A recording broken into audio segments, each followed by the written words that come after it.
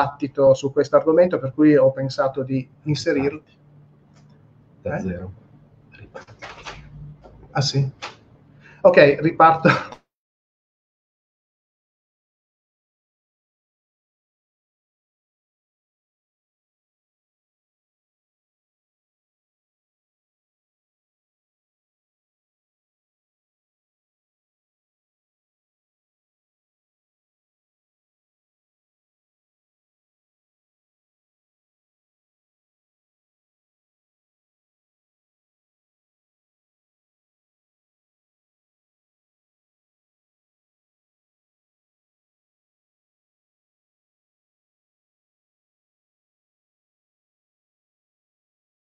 Ci sentite?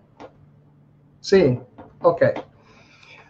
E non mi ripeto per la terza volta, sono qui in compagnia con Patrizia Rivadeneira, eh, Andrea Orsini e Cristobal Jodorowsky che eh, mi terranno compagnia nella prima parte dove racconteremo eh, un po' di storia di Naranco, un po' di la sua biografia anche se in una maniera molto molto così rapida e un po' a volo d'uccello. La seconda parte invece di questa diretta coinvolgerà eh, Raffaele Cascone, eh, Andrea Orsini, Riccardo Zerbetto, Leonardo Montecchi e Pierluigi Lattuada che ehm, disquisiranno su tre argomenti eh, che eh, sono abbastanza centrali, eh, per, sono stati centrali per Naranco, che sono la psichedelia, e quindi in particolare la terapia psichedelica dove lui è stato un pioniere, eh, il patriarcato, perché come eh, nei giorni scorsi c'è stata già una, una discussione su Facebook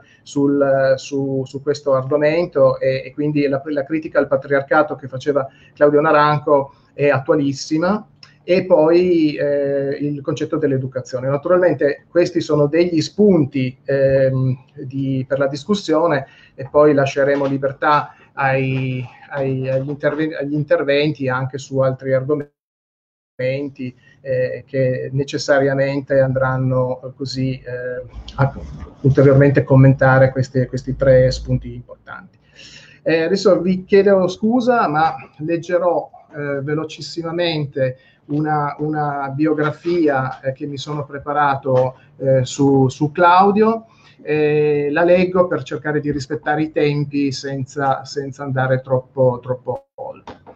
Eh, questa, eh, quindi sono veramente orgoglioso eh, di, di, di, di, poter presiedere, di poter mediare su questa, su questa, in questa occasione, un anno della morte eh, io personalmente ho, ho, avuto la possibilità un paio di volte di poterlo avere qui ospite nel, nel mio centro.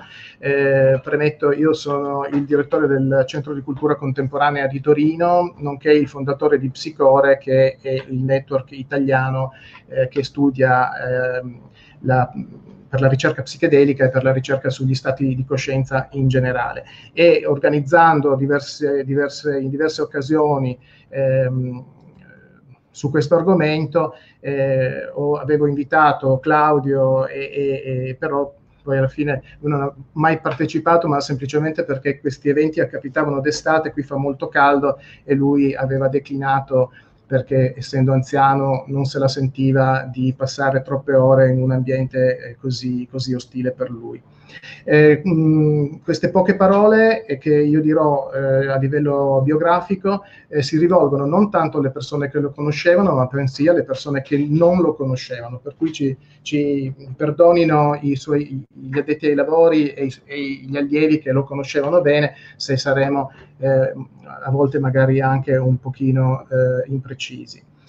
quindi sarà una panoramica che, che, che ricostruisce un po' eh, il, il, lavoro che lui ha fatto, eh, ma non entreremo nel, nel, dettaglio. Claudio Naranco nasce in Cile nel 1932 e fin da giovane eh, viene educato all'arte e in particolare alla musica eh, dove si dedicherà allo studio del pianoforte, eh, che ehm, e anche altri interessi artistici. Nel 1958 si laurea in medicina e chirurgia all'Università di Santiago del Cile, dove successivamente otter, eh, otterrà la specializzazione in psichiatria. lavora per qualche anno presso l'Istituto di Antropologia dell'Università di Santiago per poi all'Università di Santiago per poi approdare come ricercatore in diverse università del Nord America. Eh, a Berkeley in entrerà eh, in contatto con gli ambienti della controcultura americana. In California, nel centro studi interdisciplinare di Esalen, diventerà allievo e, e, poi successore del grande psicanalista tedesco Fritz Perls, noto per aver sviluppato l'approccio psicoterapeutico, psicoterapico della Gestalt. Eh, Esalen è stato uno dei centri più importanti al mondo per lo sviluppo di nuove sensibilità a livello antropologico, spirituale e psicologico. Claudio Naranco a Esalen eh, incontra eh, tra i tanti l'antropologo Carlos Castaneda, il sociologo Grigory eh, Betson e il farmacologo Alexander Shulgin. Ehm, negli anni 60 e 70, gli anni 60 e 70 sono fondamentali per la sua carriera di ricercatore psicospirituale, con incontri che hanno influenzato in modo determinante il suo pensiero e l'insegnamento. Il più importante di questi incontri è quello sicuramente con Oscar Ricciazzo, che lo introduce allo studio psicologico dell'enneagramma. Questo incontro è stato rappresentato, visto che qui abbiamo Krzysztof Jodorowsky, è stato rappresentato in modo cinematografico da Alejandro Jodorowsky, che è il papà di Cristobal, nel film La montagna sacra nel 1973. Studioso di tutte le tradizioni religiose e delle pratiche mistiche, in particolare della meditazione, è un innovatore nel campo dell'educazione. Nel 2007 riceve, parlando appunto a questo punto dell'Italia, la laurea ad honorem in scienze della formazione all'Università di Udine. Per questo motivo, ma anche per altri motivi, eh, negli ultimi dieci anni pioniere, come dicevo, della ricerca psichedelica negli anni 60, eh, periodo delle frequenzazioni nordamericane, eh, e di Esalen partecipa ai primi workshop e eh, alle riunioni di terapia psichedelica del gruppo di Leo Zeff e eh, al, al, quale poi contribuirà con l'introduzione eh, dell'uso del, dell'armalina, dell'MDA e dell'ibogaina. Ritornato in Cile nel 1967, inizia la ricerca in psicofarmacologia in collaborazione con Schulging, esplorando terapie psichedeliche individuali e di gruppo. Parteciperà alla prima conferenza sull'LSD nel 67, dove presenta la sua ricerca sulla psicoterapia assistita dall'ibogaina. Nel settembre del 2014 ha inaugurato la prima conferenza internazionale sull'ayahuasca, e ancora due anni fa era presente con un bellissimo intervento, cui, eh, eh, di cui è stato il primo a studiarne gli effetti in psicoterapia. L'esperienza, eh, questa prima sua esperienza giovanile eh, è stata poi riassunta nella sua primissima pubblicazione, che poi è stata ripresa e adesso è anche disponibile nella, con una traduzione in, in italiano. Concludo eh, ricordando che Claudio Naranjo stato nominato con premio, premio Nobel eh, Pace. Terminata questa, questa, questa brevissima e, e, sicuramente incompleta eh, presentazione, eh, lascerei la, la, parola ad Andrea Orsini, che lo conosceva bene e ancora, diciamo, e che potrà raccontarci degli aneddoti eh, assol- assolutamente inediti. A te, a te eh, Andrea. Grazie Alessandro, saluto a tutti. E sono contento di, di, stare qui, di ricordare Claudio. Bene, eh, aneddoti. Io eh, sapevo che Claudio esisteva già nel 1980 nei libri di psichedelia veniva nominato. Poi vent'anni dopo, eh, quando incontro Patrizia, che lavora mh, come addetto culturale dell'ambasciata cilena a Roma. Eh, ho modo di incontrarlo personalmente perché Claudio viene a Roma per presentare un suo libro sull'educazione eh, e, e iniziamo a organizzare, l'ospito nel, nel, nel, mio studio perché aveva bisogno di un ufficio, un collegamento internet, anche un suo collaboratore a organizzare tutto il materiale e così iniziamo a chiacchierare. Um, lo, lo, lo, accompagno in giro, organizziamo una prima intervista per Alias di, fatta da De Feo, eh, che è stata anche ripubblicata recentemente, eh, in cui inizia a insistere molto sul tema del patriarcato e insomma, eh, quest'uomo era molto simpatico, molto empatico. Leggo i suoi libri, discuto alcune cose con lui e mi rendo subito conto che è un uomo complesso, un'esperienza esistenziale che si è mossa in un largo tempo e, e, che è un tipo di, di, di personaggio, di pensatore, di ricercatore eh, molto speciale. Eh, Claudio aveva un, una formazione, ha una formazione, come anche hai ben descritto nel, nel, nel suo curriculum, una formazione molto vasta e molto precisa, eh, diciamo un accademico però è un accademico eh, in cui degli in- incontri straordinari che sono successi nella sua vita o dei fatti anche molto drammatici eh, personali, come purtroppo la perdita del figlio nel 1970, eh, lo hanno portato a, a un salto, a un, a, a, un livello di sintesi del, de, de, de, del, del suo percorso intellettuale eh, che, che, che, che, lo ha messo in contatto con quello che lui chiamava, chiamava spiritualità e, e, però lo ha fatto con una grazia eh, e, con una, eh, e, con una visione particolare che credo che sia molto dovuta al, al, all'influenza che il buddismo ha avuto su, su di lui.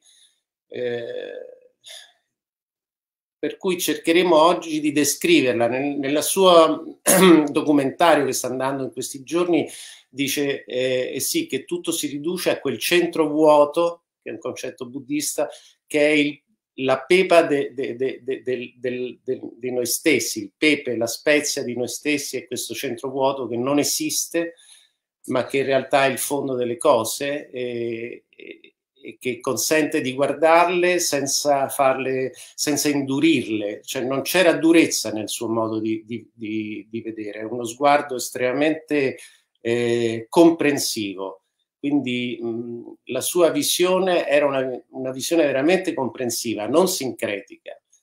Qui sta forse la difficoltà del, del, del, del comprenderlo. Eh, però vediamo se in questa... È stato, sì, mo, molto, molto, molto interessante questo tuo spaccato e questa tua ricostruzione. Eh, mi piacerebbe a questo punto anche sentire Patrizia che cosa ha da, da raccontarci e, e della sua esperienza diretta con lui. Eh, bueno, de alguna, de, in qualche forma eh, Claudio si trasformava eh, per molti di, dei suoi discepoli non solo in un terapeuta ma anche in un, in un padre. Aveva questa cosa da una, da, da una parte eh, lottava contro il contro il sistema patriarcale ed era molto politi- politicamente scorretto in un senso, eh, però lui era un grande padre, eh, era un grande padre e anche una grande madre. E, e vorrei dire una cosa che, che, che, che, sempre parliamo con Andrea e che ha a che vedere con, il, con tutta la sua saggezza, con il suo sapere come che questo uomo in qualche modo è riuscito a fare una sintesi di tutto quello che ha imparato dell'Oriente e dell'Occidente. Eh, come dire, eh, le sue pratiche sulla meditazione e il buddismo in qualche modo, prima di tutto, eh, sono state portate, portate verso il dionisiaco, e non verso una, una, un atteggiamento zen. E questa era una cosa che per me, che sono un'attrice e che diciamo sono figlia di Dionisio, eh, mi faceva molto senso. Era una persona estremamente eh, libera, eh, era una persona estremamente ehm, libertaria anche. Quando io lo incontrai a Santiago, stavo per partire a, in Italia e lui mi, veniva spesso, andava spesso in Italia a fare eh, dei suoi gruppi, lavori, eccetera, anche in Spagna, quindi per me, ehm, posso dire lo personale, per me è, la, è, la, è l'approdo in Europa, eh, l'ho letto anche come un, un, qualcosa che mi ha dato, un regalo che mi ha dato l'universo per poter incontrare lui e, e sue, i, i suoi insegnamenti che mi hanno trasformata, mi hanno trasformata nel senso di, di incontrare una certa gioia nel vivere, è, un, è una, una, gioia, e questo che diceva eh, Andrea, questo pepe, questa peppa, questo seme che pure che c'è dentro di noi, e, eh, e andare verso il mio viaggio interiore che lui raccontava, oggi stavo sentendo qualche sui racconti, diceva eh, il racconto del, del, del pájaro azul, dell'uccello blu, eh, che è l'uccello che ti darà la felicità e quindi questo principe va nel mondo a cercare questo uccello blu, eh, torna senza incontrarlo e in un momento si, si, si, rende conto che è nel suo giardino. E, questo, questo era lo che lui cercava di spiegarci in tutti i modi possibili che il nostro essere interiore è perfetto ed è il nostro cielo blu.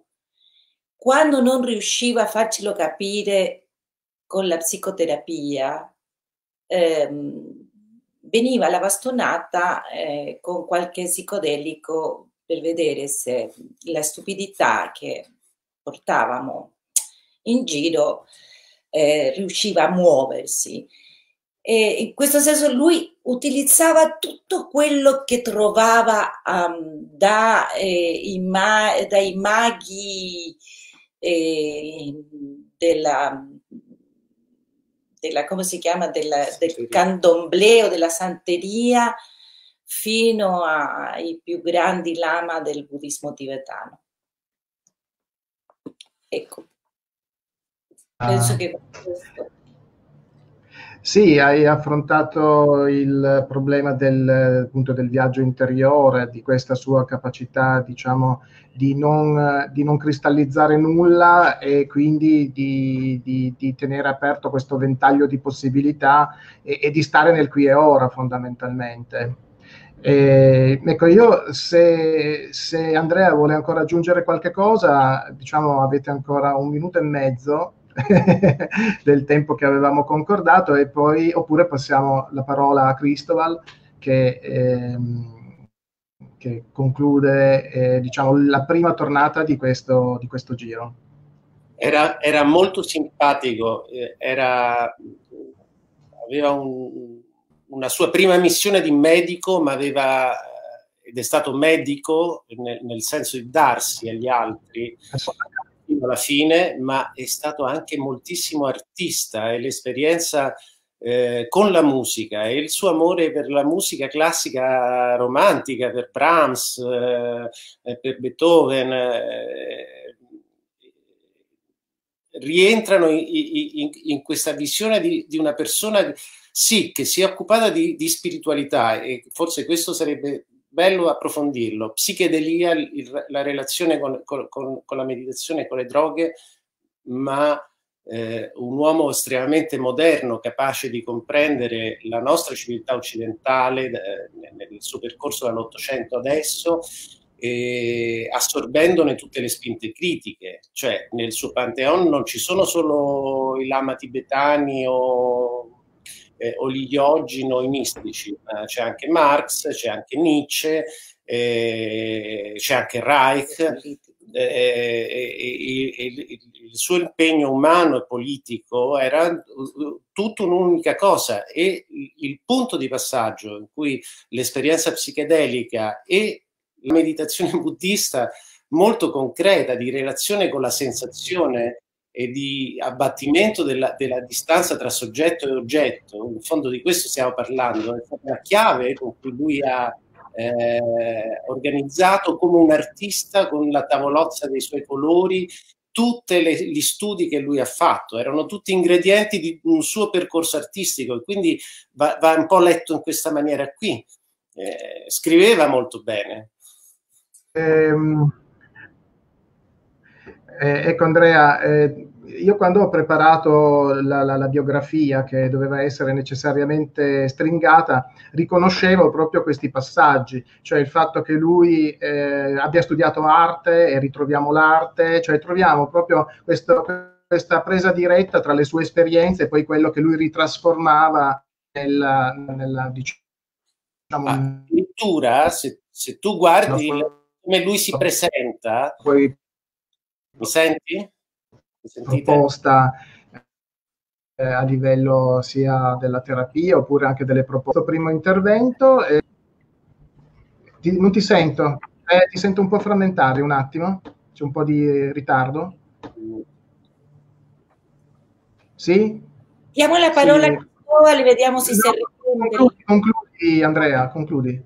No, una cosa che mi piace tanto, che, che, è impensabile per un accademico del nord occidentale, questo è, poi dopo magari parlerò del Cile, dell'ambiente cileno che ho conosciuto. Lui mette sullo stesso piano la formazione con Matte Blanco eh, in psicanalisi e psichiatria all'università con l'insegnamento di Totila Albert che era uno scultore, un, artista molto raffinato, ma anche filosofo sapiente. La, la copertina de, de, del suo libro è, un, una, scultura. una, scultura. di Toti Lalbi.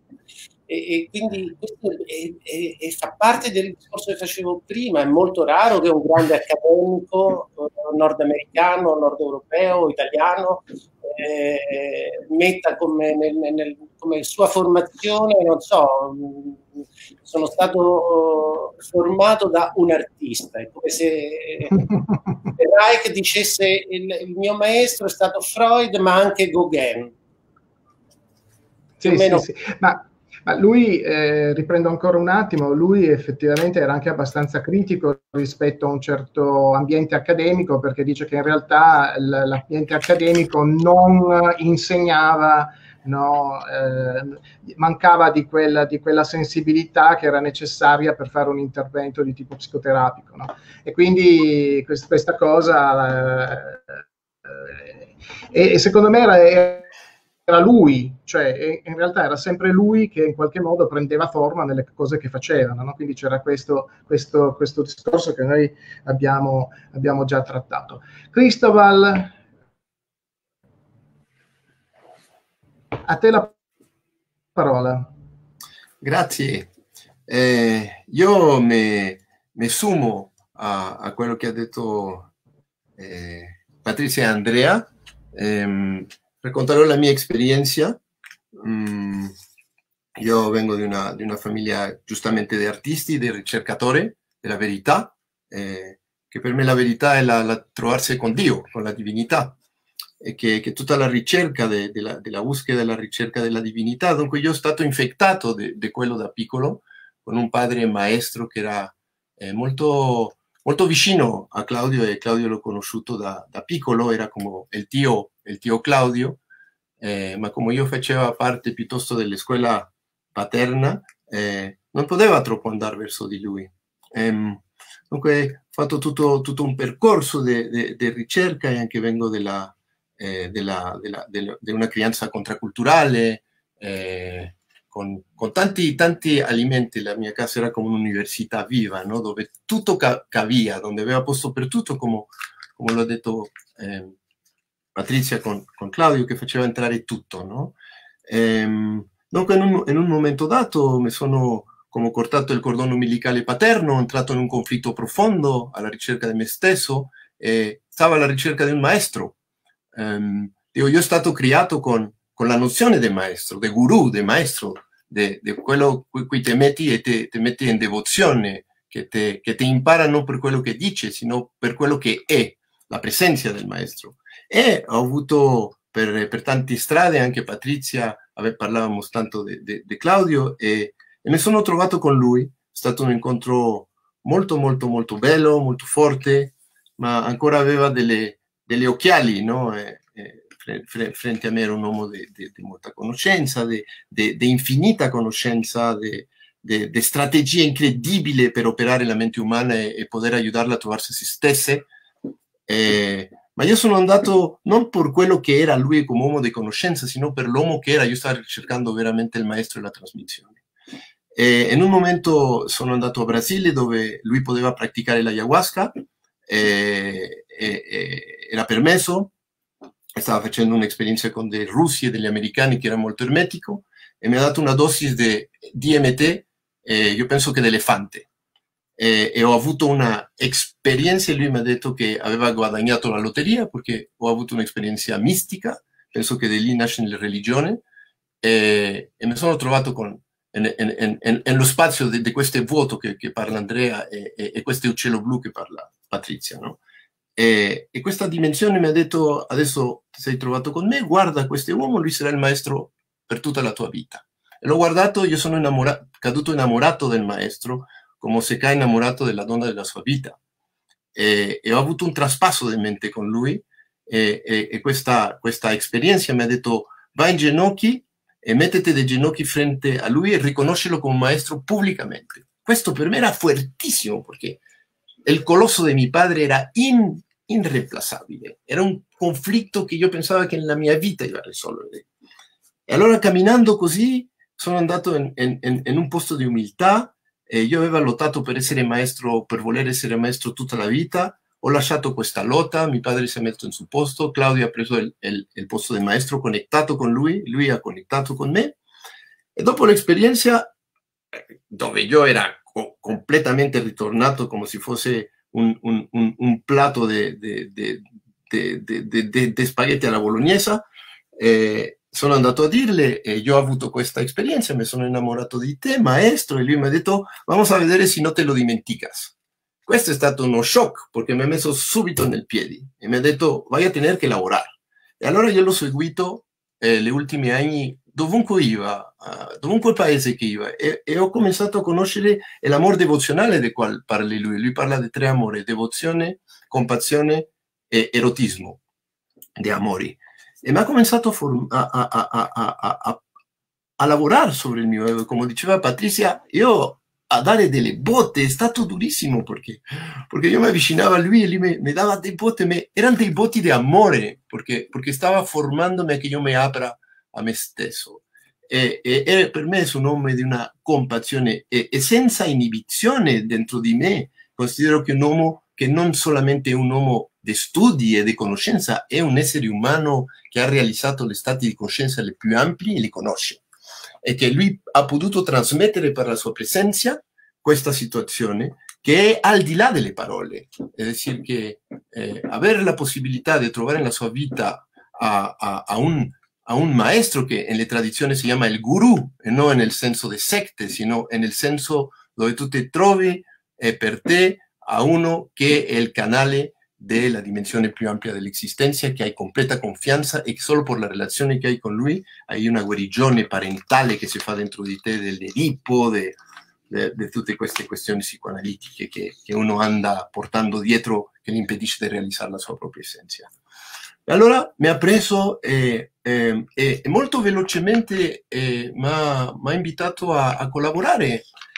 questo per me no porque lui era el, star del rock and roll casi de, de, de la terapia, porque yo, yo vengo de, familia de star del rock and roll anche dell'arte, no? Era, era perché, perché ha sentito in me l'autentico amor, el amore, e, e, e, el, el total amore, el, el sincero amore, el inocente amore e, e, e, io mi sono trovato nella mia famiglia perché mi sono trovato con una famiglia di terapisti incredibili, di esseri umani incredibili, compromesso, di ricercatori davvero.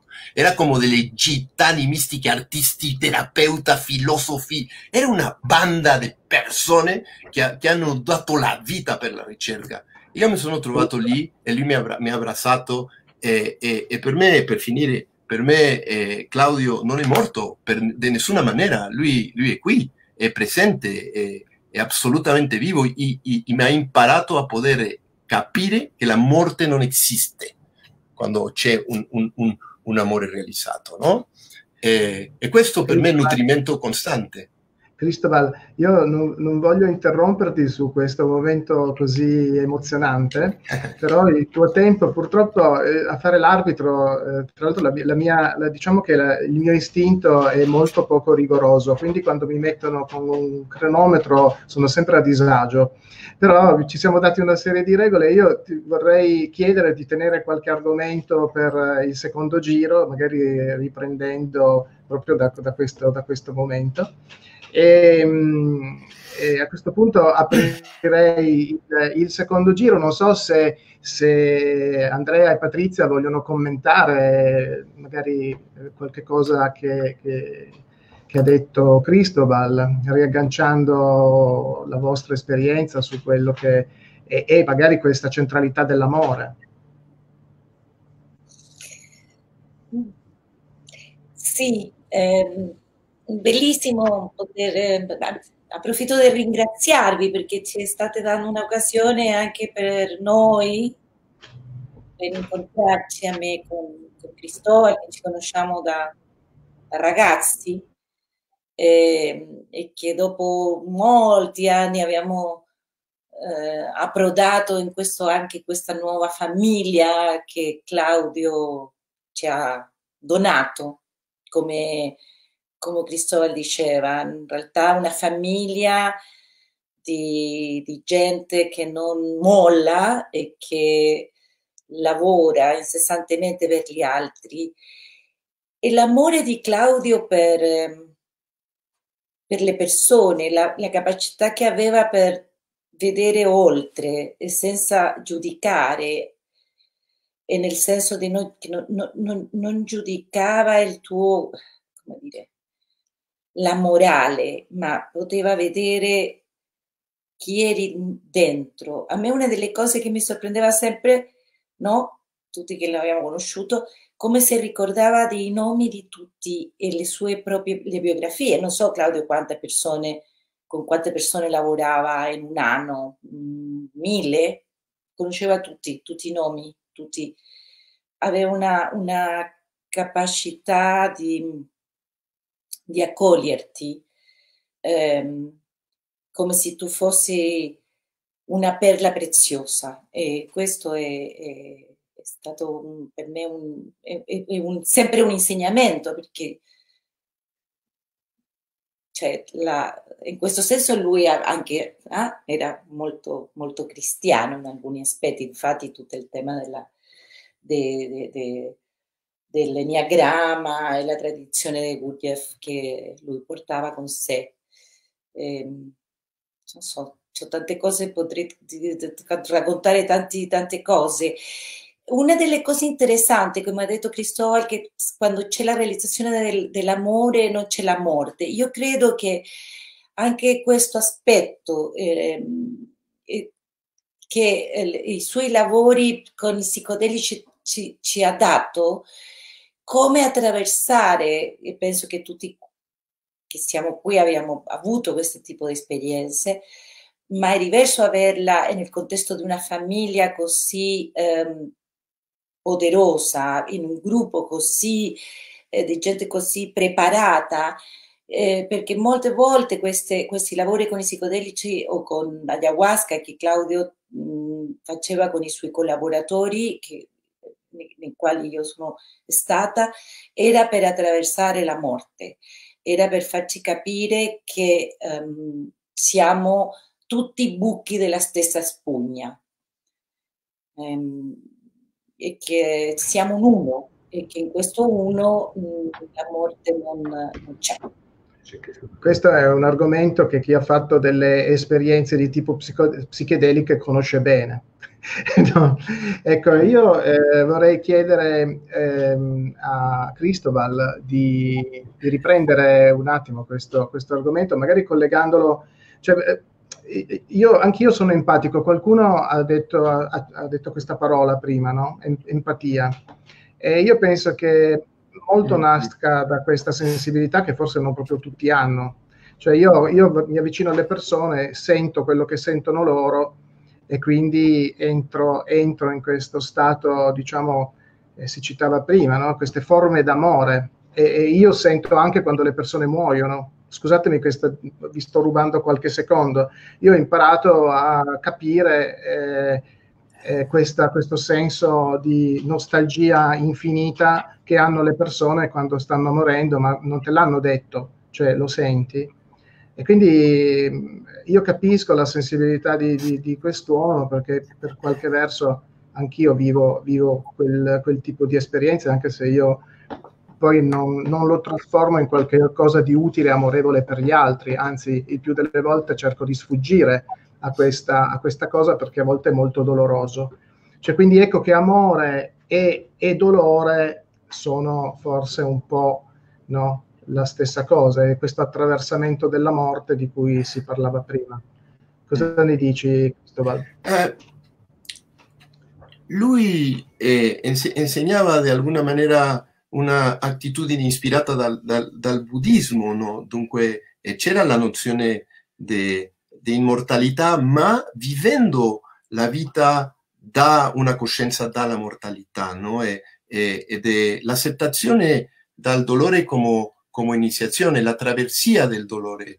Eh, lui parlava molto di bodhisattva, es decir, che gli esseri che, che realizzano un stato ampio di realizzazione e di plenitudine che e di alguna maniera operano sobre se stessi compassivamente sobre questa vita umana che respira, che è mortale e che, e che soffre, e, e, anche per aiutare gli altri a, a calmare un poco questo dolore, a poter vive, viverle, viverlo con, vi, vivere con lui non insegnava a non soffrire, sino le diceva vamos a imparare a soffrire meglio e entrare nell'accettazione. Dunque era dove anche per la morte che, che, che anche dentro di questa eh, eh, eh, forma di esistenza è un'illusione, ma era un'illusione abbast abbastanza concreta, dunque insegnava a vivere eh, la, la, la, presenza darle, darle posto posto a tutti ed accettare la morte, amare la morte, abbracciare la morte e di alguna maniera i processi, sento io,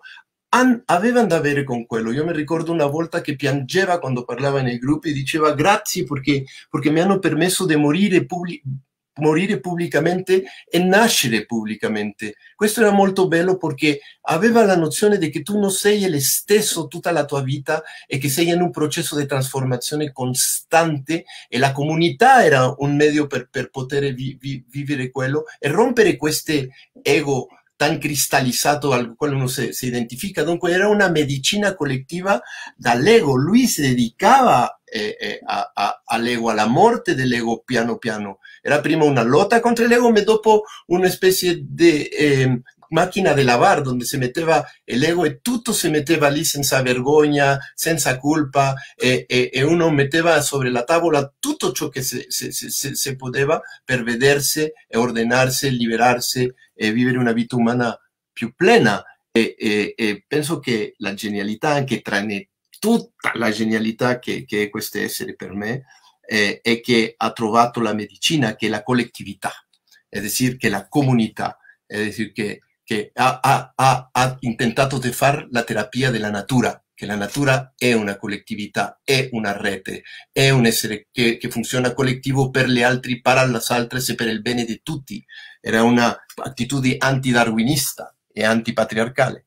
No? Dunque era una guarigione del patriarcato attraverso del processo collettivo, dove tutti avevano un posto eh, e, e, tutti avevano un'importanza, come dice Patrizia, tan bello che ti guardava e non ti guardava il curriculum, non ti guardava che avevi fatto, non ti guardava niente, guardava te e ti guardava l'essenza e con solo el sguardo da lui era come che respirabas e, e nel gruppo nessuno andava dicendo chi ha fatto chi e chi ha fatto, sino éramos vivere una vita umana lì liberos de, de la, de, de la maschera, no? E, e, vivere senza maschera, dico, veramente qualcosa da cui non può sperare e, e, e alla quale non si può dedicare. E lui era, era un uomo senza maschera.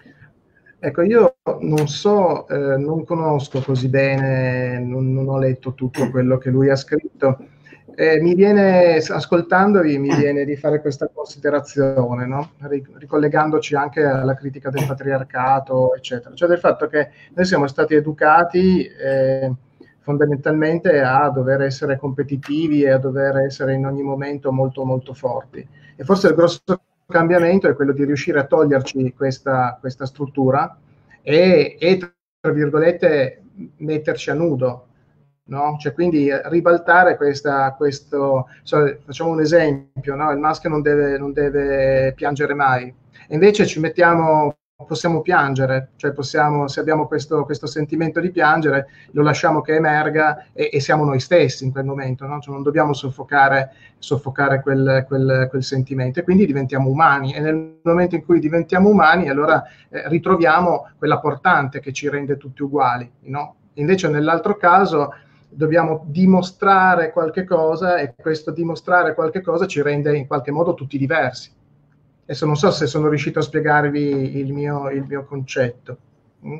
perché faccio, a volte faccio un po' di fatica a, a io sono dislessico, ho un modo di pensare tutto un pochettino particolare. Bene, abbiamo ancora qualche minuto e mh, inviterei Andrea a, a, un po' a chiudere, a chiudere questo, primo, questo primo giro. Eh, prima poi della pausa dove, dove manderemo un, quattro minuti di, di Claudio eh, che potremo sentire direttamente dalla sua, dalla sua voce nella pausa. Qualche parola per parlare del tuo Cile, eh, visto che, che vi, vi, vi parliamo del Cile, eh, guardando l'oceano. Eh, eh, mi è capitato di conoscere i suoi amici, la sua casa eh, e, le, e, diciamo l'intorno e ancora ce l'abbiamo perché per esempio eh, qui nostra vicina di casa è la figlia di Adriana Hoffman di quella coppia eh, che, che, creò la scuola di antropologia medica eh, alla fine degli anni 50 dove già iniziarono a fare esperimenti con LSD, tra l'altro, loro erano in contatto con Hoffman eh, in Svizzera, e, e, poi la Marta Hueppe, che è una psicoterapeuta, dove sempre Claudio andava a dormire, a, era ospite quando veniva qui, e, e molte altre persone, ovviamente c'è, c'è, c'è tutto un mondo cileno eh, interessante. Eh, di una elite culturale sensibile a, a, a, all'altrove. Raccontalo la mamma. Eh, la storia della, che lui raccontava sempre della madre. Questo non ricordo. La sua prima paziente che lui ha guarito è la mamma. È la mamma che lo ha convinto di continuare la strada e che è sempre stata in qualche modo anche anche la che lo ha fatto tanto soffrire, però a, a sua volta c'è stata questa cosa, no? Quello che voglio dire è che in questo paese in cui c'è una temperatura che va sempre dal caldo al freddo, perché ci sono le Ande, ma il sole è forte, e, e questo si trasferisce anche nell'umore delle persone. I cileni diventano molto caldi e molto freddi in, con, in, in modo repentino, veloce. No? È un paese che, che, ha una vocazione al mistero o a, o a cose strane, cioè comunque nel, nel terreno culturale qui eh, sono sorte esperienze o artistiche come Nicador Parra eh, oppure eh, scientifiche che hanno anche influito su, su, Claudio, come per esempio il lavoro eh, di biologia molecolare della coppia di Maturana e Varella con la teoria dell'autopoiesis, ehm, molto importante. Cioè, è un mondo, si dice che qui ci siano dei gurgeffiani molto esoterici e molto nascosti, che ci siano dei, dei, degli altri maestri in qualche modo. Eh, si dice, io non sono riuscito a entrare in contatto, però per dire che il mondo da cui esce fuori Claudio è un mondo interessante perché è un paese all'estrema periferia, all'estrema occidente, è il tramonto dell'occidente eh, e quindi è un punto di, di è come un'isola, eh, è un punto di vista privilegiato perché da qui eh, si può guardare a tutto l'indietro, quello che a questo punto è il nostro Oriente, tutto l'Occidente è a Oriente del Cile, e nascono delle, delle, intuizioni e penso che su queste intuizioni sia mossa tutta la vita di Claudio fino ad oggi. Bene, eh, direi che possiamo concludere questo, questo, primo giro, questa prima parte dedicata all'eredità di Claudio Naranco. Eh, ci rivediamo, vi ringrazio innanzitutto per questi interessantissimi interventi, ci rivediamo fra qualche minuto, eh, c'è una pausa e in questa pausa, come già detto, ehm, manderemo un, un video eh, con... Ah, no, manderemo, manderemo, un video dove, dove potremo sentire eh, la voce e vedere Claudio eh, eh, parlare di felicità che eh, abbiamo già in qualche modo accennato a questo, a questo, argomento, però vorrei poi riaprire la seconda parte dando la parola a Cristobal e parlando di, di felicità e anche, visto che eh, si era parlato di, di introdurre il discorso psichedelico psichedelici e terapia psichedelica che abbiamo già anche ampiamente discusso in questa parte, eh, introdurre un, un, altro tema, cioè quella della, fe- della, felicità artificiale che gli psichedelici in altri contesti invece regalano, regalano al, quindi inserire, inserire questo tema di quello che potrebbe essere l'artificiosità no, del, di un cattivo uso o comunque di un uso eh, diverso del, dello psichedelico in sé. Adesso vi chiedo ancora qualche, qualche secondo che la regia sta recuperando il filmato.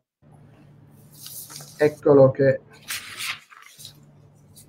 e su, questa, su questo commento vi, su questo commento lascio, lascio la pausa e, e, e, la scena a Claudio. Grazie. Io non lo sento. No. Io lo sento. Ah, forse.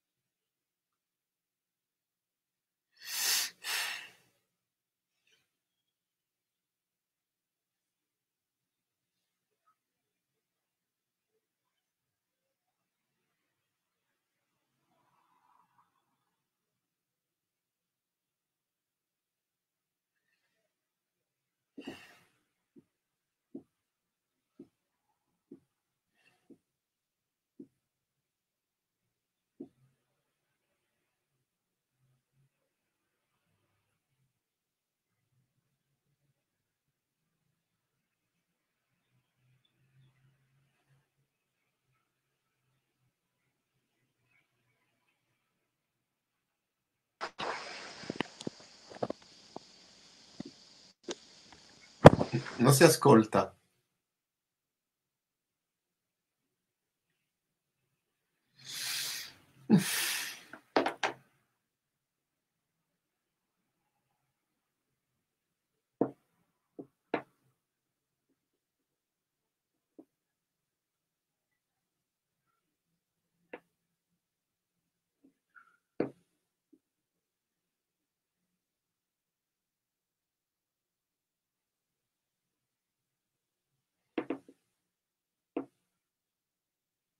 Tecnico, eh, abbiamo fatto le prove, funzionava tutto benissimo, naturalmente eh, al momento buono eh, la tecnologia ci abbandona. Si vedevano le immagini, però non, non si riusciva ad ascoltare.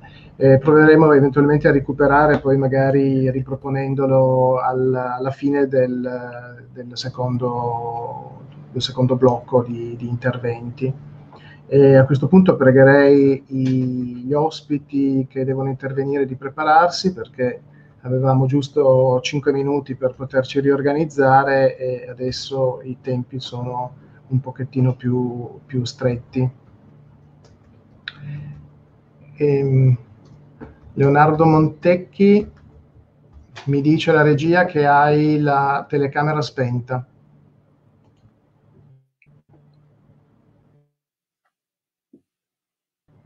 Ecco, Zerbetto lo vedo, anche Cascone non lo vedo. Zerbetto. Manca, manca Leonardo. Sì, mm? C'è? Io non lo vedo. Benissimo, eh, ecco, ci siamo, ci siamo tutti. Ehm, eh, abbiamo, mm, suppongo che abbiate seguito, intanto, intanto saluto eh, Raffaele Cascone e Riccardo Zerbetto e Pierluigi Latuada che ci raggiungono per questa seconda parte.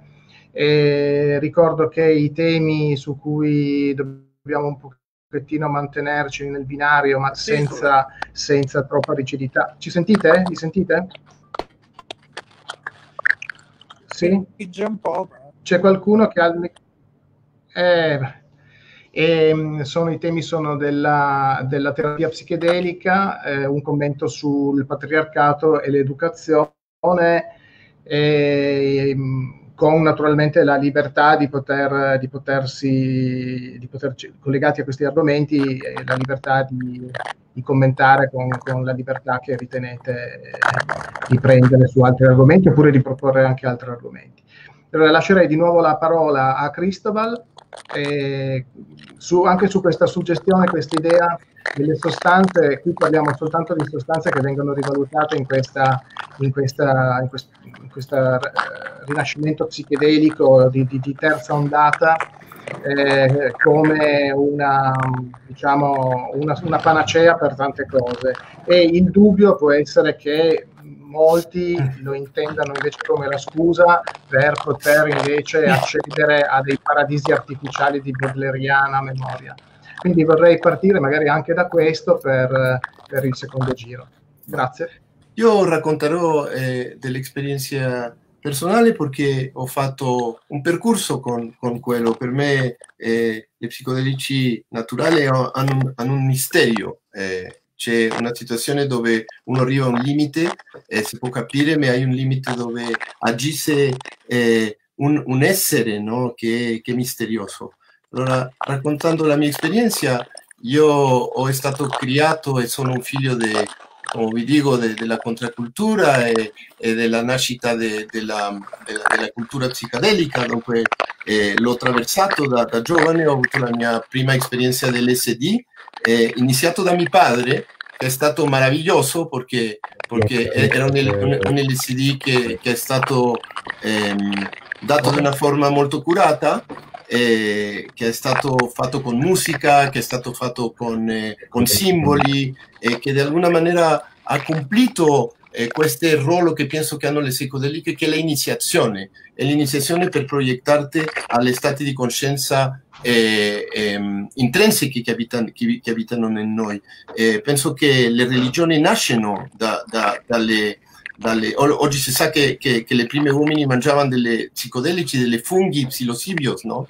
E che, e che da lì apparisce, apparisce il pensiero simbolico, apparisce la coscienza di essere una coscienza, apparisce, apparisce tutti questi mondi sciamanici, eccetera, eccetera. Entonces, de alguna manera, eh, per prendere il tema del, del quale tu, tu estás eh, eh, eh, sugiriendo, che, che l'uso dei psicodelici di forma eh, di alguna maniera ignorante, eh, e che si ignora a delle volte non c'è un'educazione per quello, per spiegare che è, è un, un, una strada di iniziazione a, alla verità che abita, che, che abita in noi, no? e che anche si chiama medicina, è una medicina del corpo, una medicina che utilizza nel popolo per l'anima, è una, una, una, medicina spirituale, è una medicina nel senso che ti proietta alla medicina che potevamo dire è fondamentalmente la divinità interiore, che, è la tutta, la, la tutta conoscenza. Dunque, ehm, eh, sì, le, le, le, psicodelici sono usate di forma iniziatica, terapeutica, come medicina, eccetera, eccetera, hanno un effetto, ma hanno un effetto non, non di che guariscono eh, eh, delle cose che sì, sì penso che lo fanno, eh, ma, ma, che aprono una finestra, è decir, che aprono una finestra, aprono, come ti mostrano le possibilità che c'è in, in, in, inter, internamente per dopo, passo a passo, ir arrivando a quello. Te, te, te, raccontava con Claudio che quando ha avuto questa esperienza molto forte, con un limite molto forte, che, che veramente ho avuto un'esperienza mistica unica nella mia vita, eh, dopo mi ha detto, vamos a vedere se non ti dimenticas, perché adesso hai da fare le strade. Dunque, es decir, ¿cómo voy a, a, a fare perché la mia vita, digamos, quotidiana si adapte a questa esperienza? Por eso c'è bisogno di seguito. È lì che arriva la questione perché se, se, se si prende di forma eh, eh, eh, irresponsabile, ignorantemente, allora uno crede che già ha realizzato tutti, tutti questi stati. Questo ti può portare a una situazione abbastanza delirante perché dopo ti cades come se ti cades di un abismo al pavimento, ti rendi conto che questo non è realizzato e può desencadenare delle angosce, delle crisi e, delle situazioni. Per eso che c'è un prima, un'iniziazione, un, nel momento essere accompagnato per anche delle esseri che hanno un stato di coscienza che ti possono come contagiare quando si prendeva le, le, le psicodeliche con Claudio, lui, lui ha un stato di coscienza ampio realizzato che attraverso dello invisibile, dello non detto, contagia e ti va guidando, come, lo, come, come te van guidando los cantos dei sciamani, ti vanno guidando le terapisti che, che, che hanno le herramiente per accompagnarti di una forma responsabile. E il dopo, il dopo è un seguito, è che a fare adesso con questa esperienza nella mia vita. E, e, e per me è stato, eh, io ho avuto la, la, la, veramente il privilegio de poder practicar eh, el psicodelici de, de, de, de, quella maniera e continuare de, practicarlo, hay dei momenti importanti della mia vita che mi hanno eh, de alguna manera sincretizzato le anni di lavoro in un'esperienza per poter eh, eh, olisticamente vedere lo, lo, lo, lo, che succedeva in me per fare un salto, no? una iniziazione, passare di un stato a un altro cercando di non ritornare indietro e fare questa costante del quale parlavamo, morte e rinascita. No? Io ho avuto l'esperienza straordinaria dove ho potuto fare il duello del mio fratello de, che, aveva, che, era, che, era, morto alle 24 anni in, in, in, questa esperienza, ho potuto parlare con delle dimensioni ampie dell'essere, entrare in una specie di scuola, è, è veramente un, un, mondo di iniziazione se uno eh, sa navigare come un psiconauta eh, eh, avispado, no? che ha, che ha le, le, herramientas per viaggiare in, in, in, questo mondo. Io penso diceva Claudio, le psicodelici di alguna maniera sono la bomba che va a riventare al patriarcato dentro della nostra mente e, e, e ritornarnos alla natura.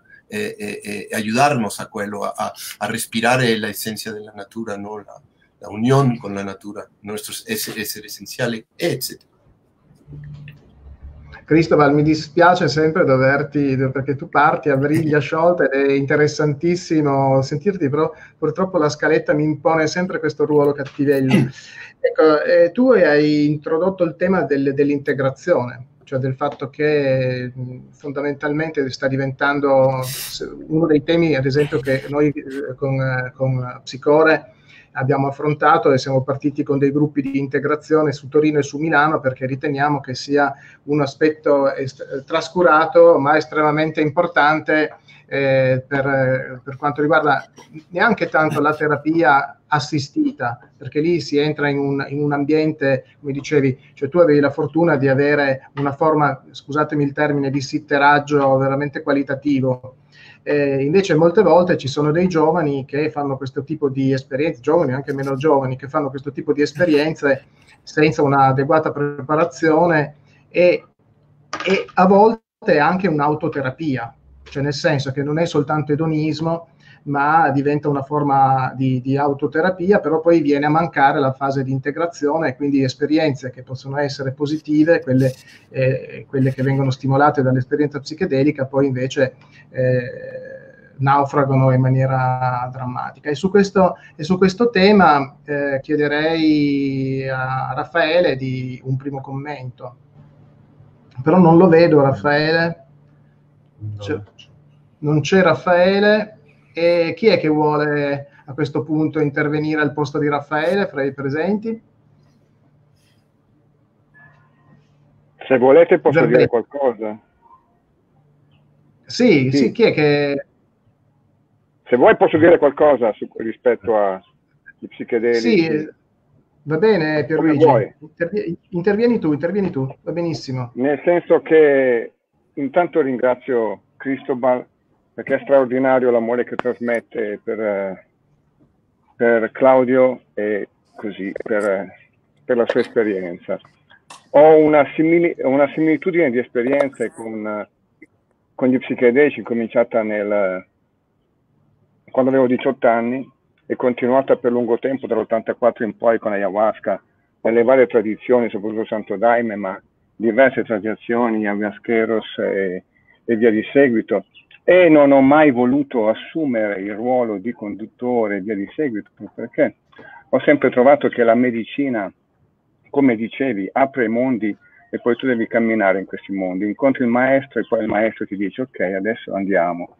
E hai, hai nominato una cosa molto importante che è no, aprendo questa porta eh, consente di andare oltre il patriarcato e recuperare il culto della dea, recuperare cioè tutto il mondo che la nostra società ha dimenticato, cioè quello che io chiamo il versante scordato, pensiamo a quanto la società sia appunto patriarcale in termini di controllo, in termini di obiettivi, in termini di risultati, in termini di competizione.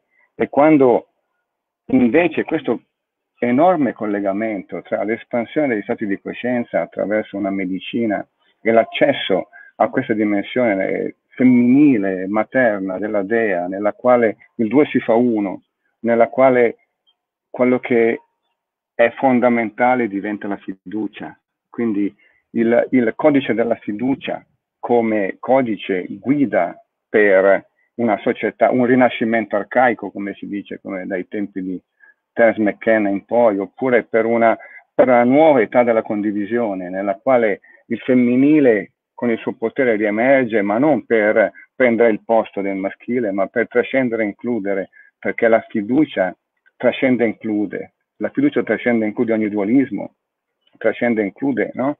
il, il, il, maschile e il femminile.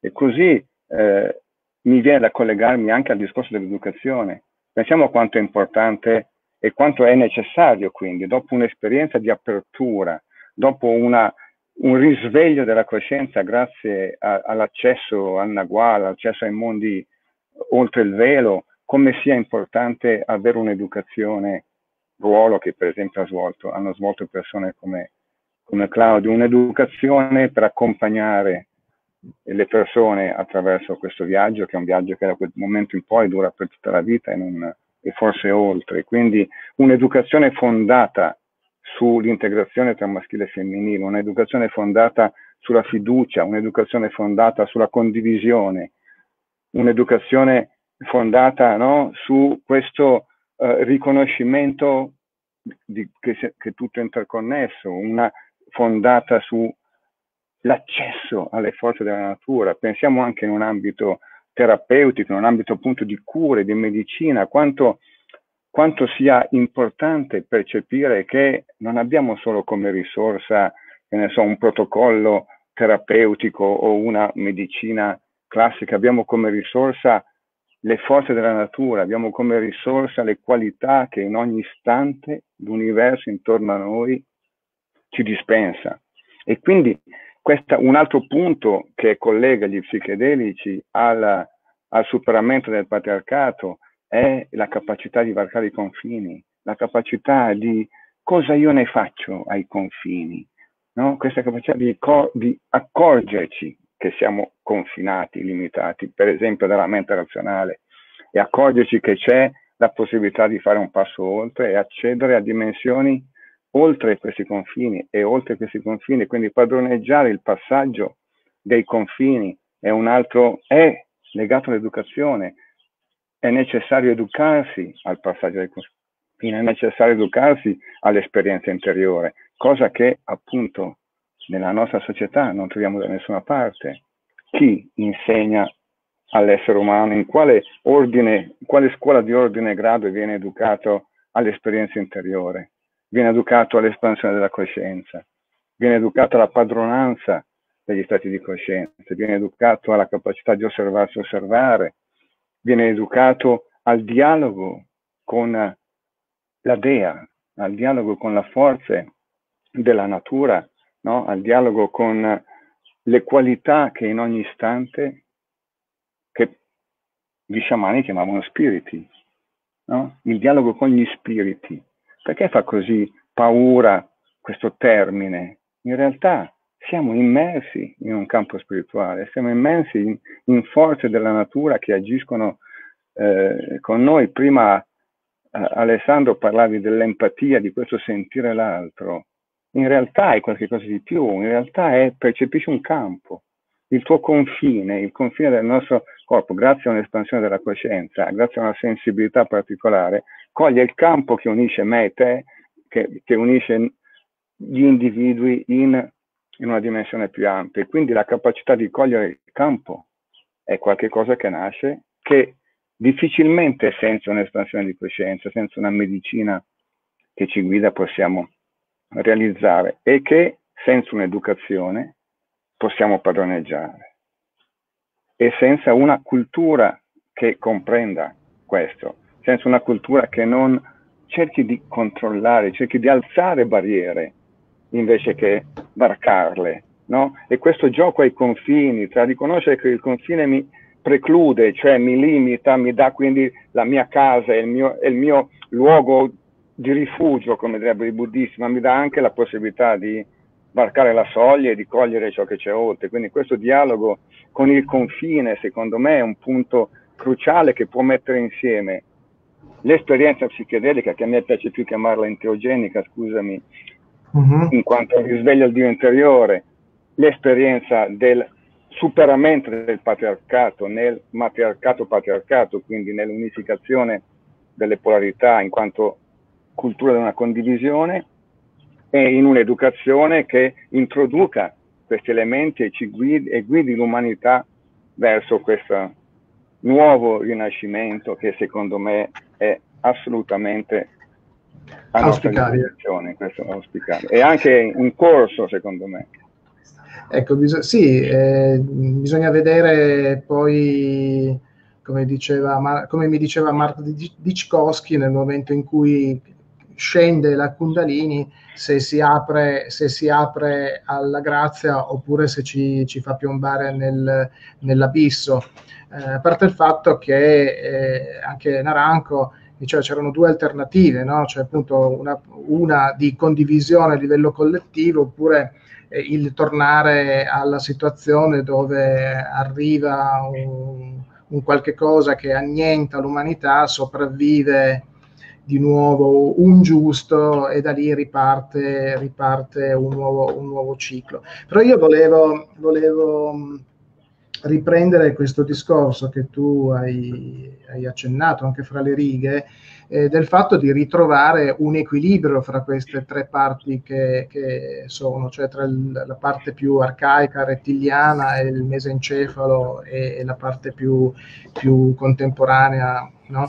e il recupero del femminile sicuramente esattamente come anche un recupero della parte dionisiaca e, e, io però mi chiedevo questo equilibrio che, deve passare attraverso un processo educativo e sono perfettamente d'accordo con, con il tuo il tuo pensiero, mi chiedevo, ma alla fine di queste tre componenti, eh, questo equilibrio, chi è che lo deve gestire, chi è che lo deve portare? Io so, ho sempre pensato che poi alla fine paradossalmente sia proprio questo intelletto che in qualche momento, eh, che in questo momento eh, può, essere, può essere un limite.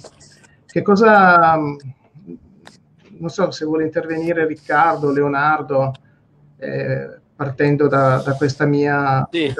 che magari è anche un po' semplicistica. Ecco. Vai Riccardo. Eh, buongiorno a tutti. Buongiorno. Eh, mi sono spostato fuori. Eh, sì, in effetti eh, c'era una sostanziale diffidenza in Claudio per un sapere, una pedagogia eh, intellettuale, pragmatica, e tendente soprattutto a un uh, aumento delle nostre capacità tecniche, come si sta sviluppando sempre di più, e detta proprio chiaramente senza anima.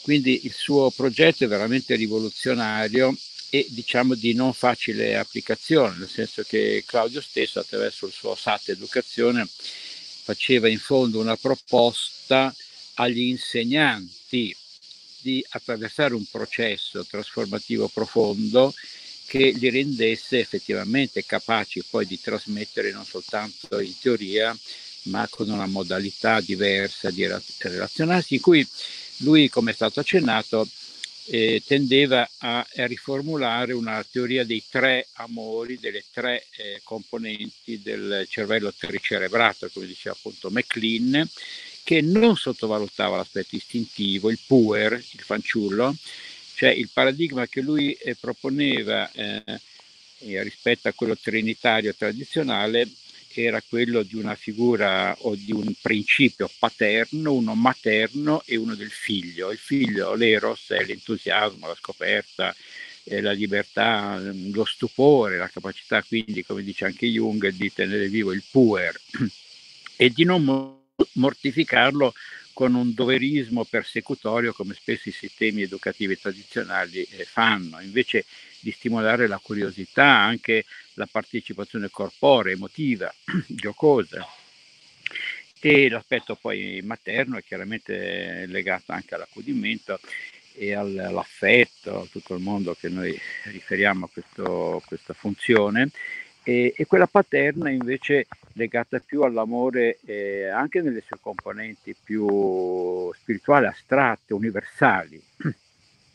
Quindi chiaramente un compito educativo complesso in cui però si ripristinasse un maggiore riequilibrio delle varie componenti eh, che favoriscono la crescita dell'individuo, non l'indottrinamento finalizzato alla competitività.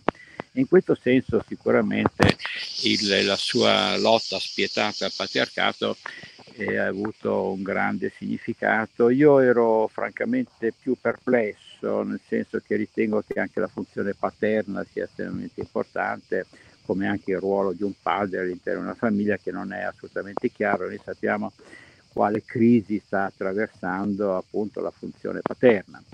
Eh, però effettivamente se ci guardiamo intorno siamo al, sull'orlo di una catastrofe planetaria eh, simile a quella che precedeva la seconda guerra mondiale, in cui dei dittatori assetati di potere, eh, di armamenti, di, di, dimostrare il loro fallico eh, prepo, no?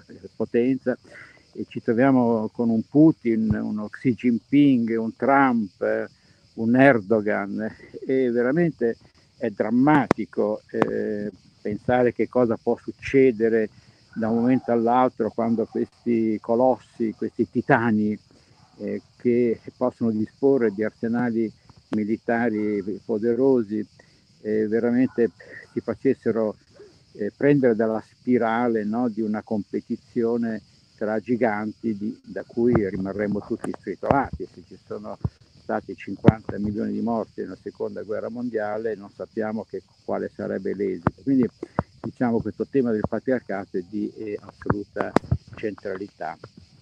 Ma la cosa che mi piacerebbe sottolineare è la grandezza di Claudio, la cui vastità veramente di conoscenze, di esperienze, e lui definiva SAT, Seeker After Truth, il suo movimento, è stato un paradigma, ci sono, una, ci sono cinque CD che ricostruiscono la sua autobiografia.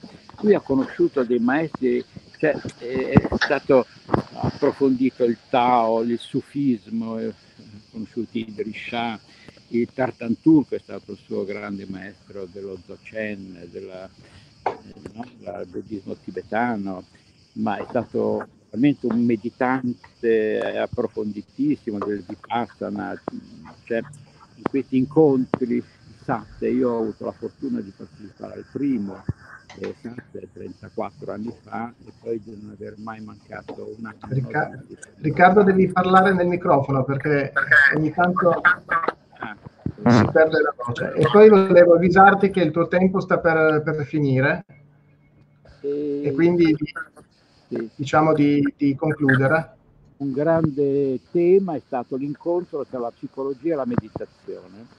Eh, suo il libro degli anni 70, On the Psychology of Meditation, adesso è abbastanza acquisito, ma allora è stato assolutamente antesignano, come anche la sua pratica della meditazione interpersonale, di cui anche altri adesso si stanno appropriando, ma che è stato proprio il momento di incontro tra le due grandi filoni della ricerca, quella appunto meditativa e quella psicologica che credo in lui si sono riassunte come nessun altro nel nostro tempo. Grazie. Grazie Riccardo. Io cioè, vorrei forse fare un, po' un salto, eh, un piccolo salto quantico con, eh, con Leonardo Montecchi.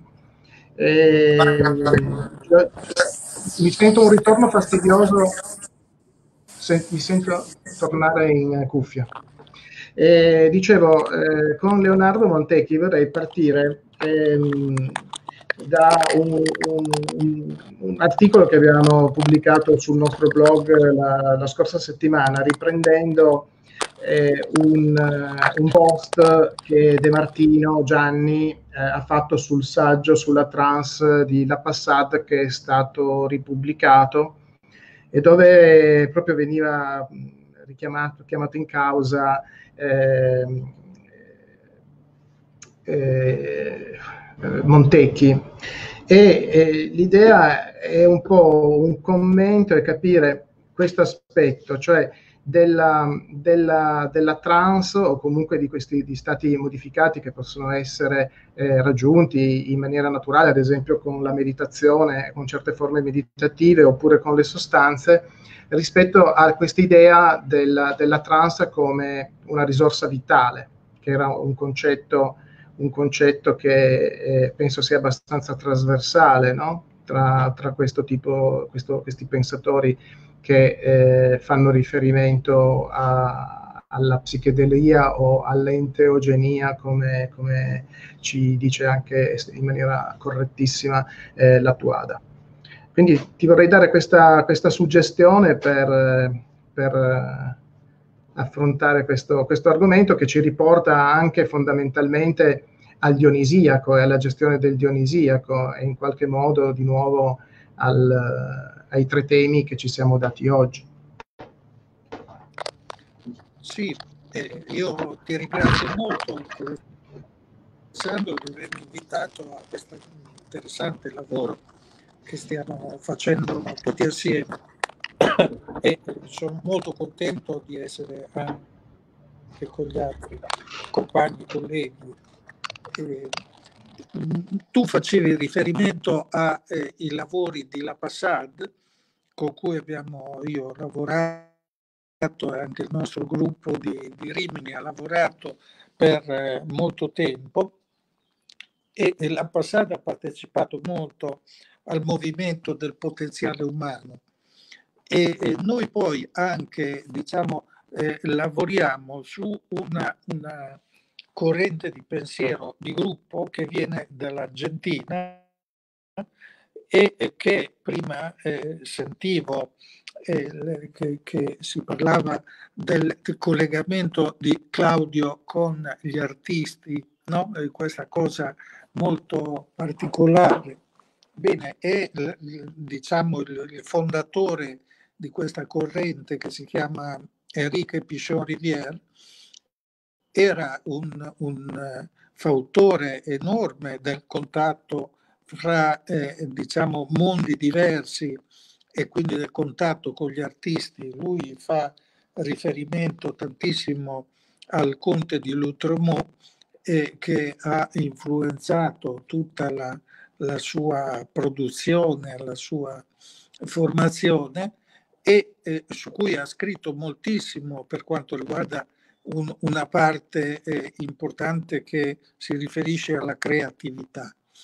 E, e, quindi diciamo questo pensiero che noi sviluppiamo e eh, unifichiamo con quello del, dell'analisi del potenziale umano ci porta a considerare eh, gli stati di coscienza eh, come eh, eh, eh, sul fatto insomma, che esistano non uno stato di coscienza, ma numerosi stati di coscienza. Tuttavia, purtroppo, diciamo, la, la, la dominante, la, la, cultura, l'ideologia dominante e credo anche l'economia dominante produce, sta producendo uno stato di coscienza unico e cerca di, di convincerci che quello stato di coscienza unico, cioè lo stato di coscienza lavorativa quotidiana, sia l'unico stato di coscienza e tutto il resto che fuoriesce da quello stato di coscienza, eh, diciamo, produce, consuma, crepa, eh, sia una psicopatologia da ricondurre a, a, all'ordine attraverso delle tecnologie eh, chimiche, ma anche eh, eh, disciplinari, e per cui, diciamo così, il, eh, siamo eh, all'interno di una eh, realtà che vede la dominanza di quella che viene chiamata biopolitica, no? perché eh, diciamo Foucault la chiamava un po' così, eh, cerca di eh, incasellare, ordinare la, la, vita quotidiana secondo dei principi che riducono l'esperienza dell'essere umano a una vita diciamo molto eh, poco piacevole, molto eh, noiosa. Leonardo, Leonardo, scusami, volevo solo dire un po' eh, se, riesci a, se riesci a bloccare il telefono e a parlare un po' più vicino al microfono. Sì. O pensare a questo tipo di, di biopolitica di cui dicevo, anche come una eh, eh riduzione no, della eh, potenzialità umana per eh, eh, ridurlo a eh, questa eh, vita di, di, consumatore. Naturalmente questa eh, di, diciamo, eh, imposizione purtroppo non è estranea alla mente umana, non viene solo da una forza esterna, ma è, è Leonardo, Leonardo scusami. Una parte integrante del nostro, del nostro apparato psichico. Leonardo, dobbiamo, dobbiamo interromperti perché non si sente quasi nulla, è molto molto disturbato e, e il discorso è interessantissimo ma difficilissimo da seguire. Quindi non so, magari possiamo riprovare a riprenderlo dopo se migliora la, il collegamento. Perché... Va bene, okay. ah, scusami, ma è, è, ok? Un po', è un po' difficile seguirti eh, in, questa, in questa forma. Eh, mi spiace avere, aver dovuto aver interrotto eh, Leonardo perché mh, stava aprendo su tanti, tanti argomenti eh, anche estremamente interessanti che forse ci avrebbero anche portati un po' eh, troppo oltre a quello che erano i binari che ci eravamo dati oggi. Io intanto eh, Raffaele Cascone, anche lui eh, non aveva una, un, un, collegamento diciamo accettabile e quindi eh, mi ha scritto poco fa che scriverà qualcosa e cercherà di mandarcelo entro la fine della, della trasmissione. A questo punto io lascerei, non vedo, non vedo Andrea Orsini che era previsto un intervento ancora di Andrea, però non, non lo vedo. E a questo punto chiederei a Cristoval di commentare gli ultimi tre interventi eh, di, di, Riccardo, di Leonardo e di Pierluigi. Adesso sta rientrando Andrea. Ecco, va meglio. Sì, sì, sì che comunque. Oppure sta rientrando Andrea, se vuoi possiamo... Ah, ecco. Voi avete, avete seguito? Eh, chiedevo, chiedevo, un commento sugli ultimi tre interventi eh, del, del, di, di, Leonardo, eh, di Pierluigi e di, e di, Riccardo. Sono interventi molto intensi. Siete riusciti a seguirli?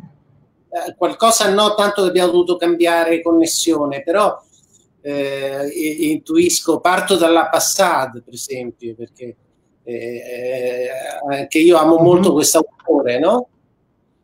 E un po' il, il, lavoro che noi abbiamo cercato di, di, di, fare con Claudio, visto che stiamo parlando di lui, è quello di interfaccia con un mondo esterno che non è solo di chi gli sta vicino e che giustamente si innamorava di lui, perché avete sentito Patrizia, avete sentito Cristóbal e, e, e, e anche io ero molto sedotto perché era un uomo amabile, eh, ma oltre questo, oltre quello che lui dava ovviamente, c'è un motivo di questa amabilità, c'è tutta la relazione con, con, con, con il mondo esterno. Entonces, eh, il, il, lavoro che, che, di, di, analisi di, che ha fatto la Passad sociale sul fenomeno della trans e eh, la sua eh, spiegazione di come tutta una serie di, di, di, di, mondi della trans sono in realtà eh, distorsioni e patologie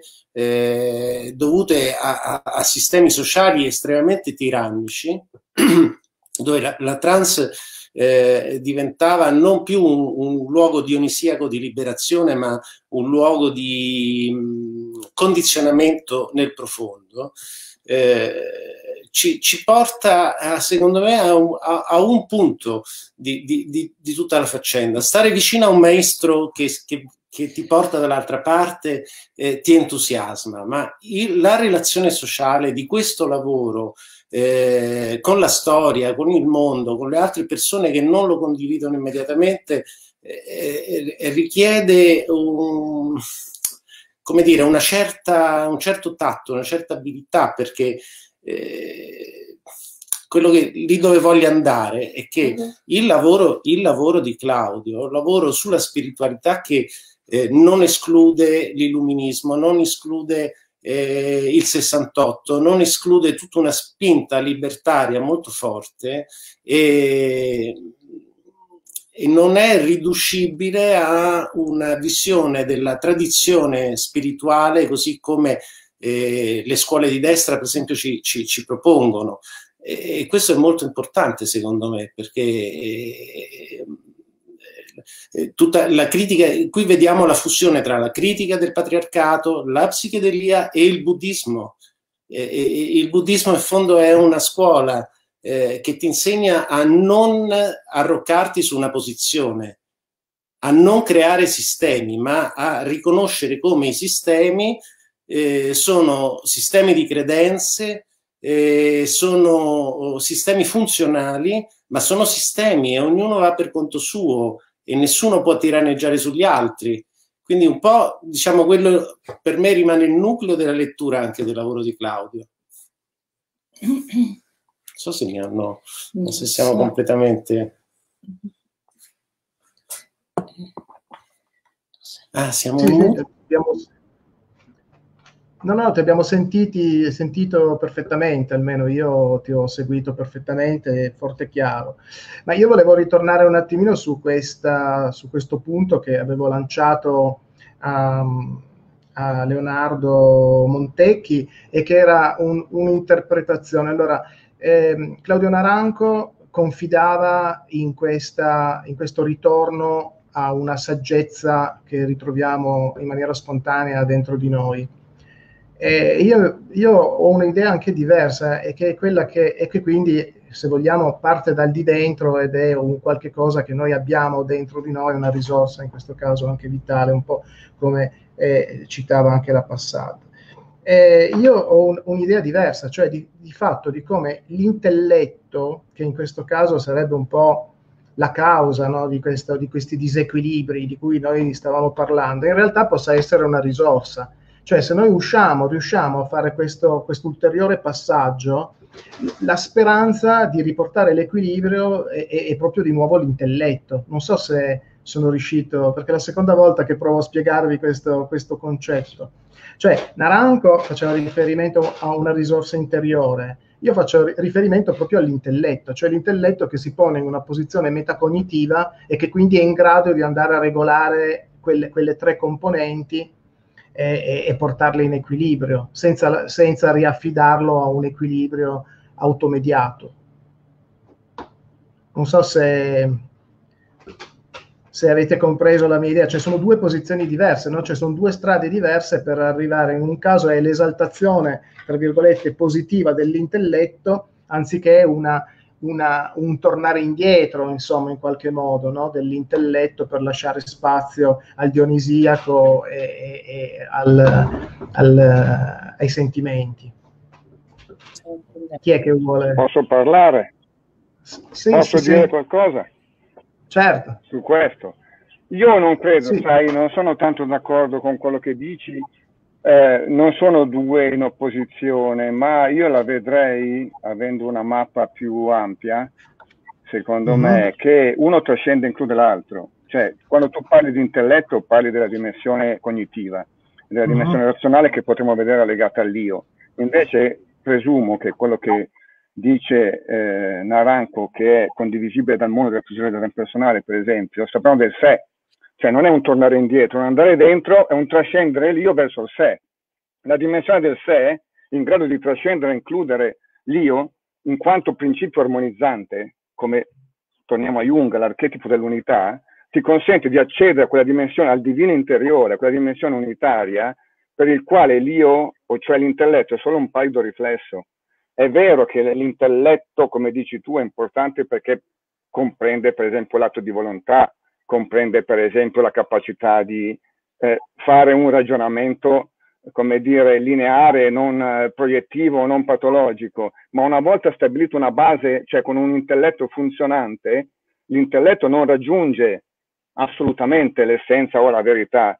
Attraverso, è necessario trascendere e includere l'intelletto nel sé, in quello che Claudio dice lo spazio interiore, la, dim- la dimensione interiore, quello che le diverse tradizioni, tutte, infatti non a caso si collega alle diverse tradizioni, perché tu poi possiamo chiamarlo l'Atman per i Vedanta, possiamo chiamarlo il Rigpa, possiamo chiamarlo no? in, diver- in diversi modi, questa connessione con questa dimensione interiore che trascende e include l'io.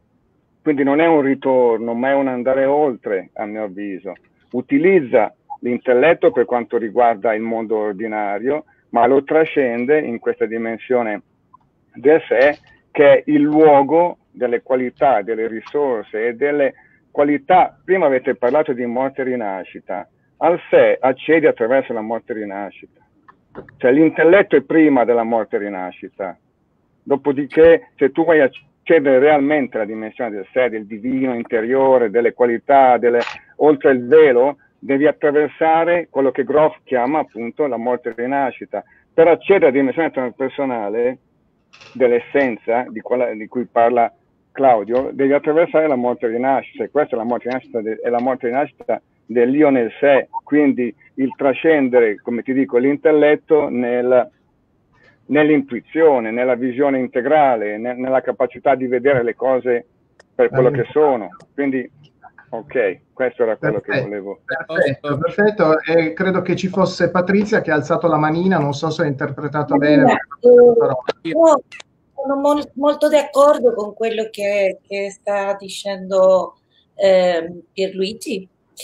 E, e qualcosa che io sono riuscita a, a sentire perché si sentiva un po' male ehm, eh, che, che stava parlando ehm, Leonardo eh, su questa, su questa, eh, su questa ehm? Su- sulla cultura patriarcale contemporanea, ultracapitalista, che era molto contrario, perché era politicamente molto impegnato pure, su questa idea che l'unica realtà è la realtà ordinaria e, e la realtà del lavoro, ehm, che siamo qui per, ehm, per vincere, ora che poi ci hanno fatto credere pure che ognuno da solo se la deve fare eh? Eh, anche questa idea di non più una pertenenza a una comunità. Claudio parlava dei tre amori e questo equilibrio dei tre centri dell'amore è quello che eh, il, il, problema, il, problema, attuale è che c'è un squilibrio, c'è uno che ha preso il potere, che è questo intellettuale, questo winner, questo, ehm, eh, questo avido eh, che deve vincere agli altri, eccetera. Non so se mi sento perché... Sì, sì, sì. Allora, Cristobal, scusami, però c'era Montecchi che si è prenotato prima di te. Subito dopo Montecchi, poi parli tu. Montecchi? Leonardo? Eh, provo a intervenire se si riesce a capire eh, eh, che non è molto disturbato, è faticosissimo per me.